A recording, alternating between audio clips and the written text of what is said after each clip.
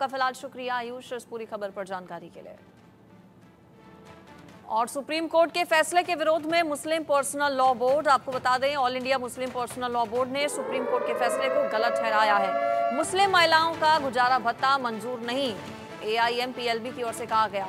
Supreme court का फैसला शरिया कानून के खिलाफ है। मुसलमान शरीयत से अलग नहीं सोच सकता। गुजारा भत्ता महिलाओं के लिए मुसीबत बनेगा। All India Muslim Personal Law Board की ओर से ये कहा गया है। दरअसल सुप्रीम कोर्ट की ओर से कुछ दिन पहले ये कहा गया था, ये फैसला दिया गया था कि मुस्लिम जो महिलाएँ हैं, जो तलाकशुदा मुस्लिम महिलाएँ हैं, उन्हें भी गुजारा भत्ता दिया जाएगा।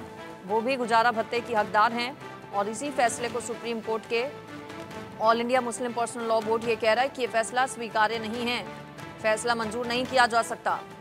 मुस्लिम पर्सनल लॉ बोर्ड उस दिन के बाद से ही बैठकें लगातार कर रहा है। कल एक और बैठक All India Muslim Personal Law Board की दिल्ली में हुई। मुस्लिम तलाकशुदा महिलाओं के भरण पोषण पर दरअसल सुप्रीम कोर्ट की ओर से फैसला सुनाया गया था, जिस पर कहा यह जा रहा है All India Muslim Personal Law Board की ओर से कि यह फैसला इस्लामी कानून यानी कि शरीयत के खिलाफ है।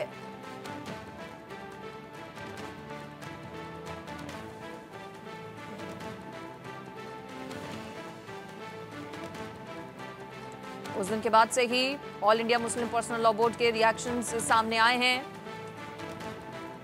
शरीयत के खिलाफ इसे All India Muslim Personal Law Board बता रहा है।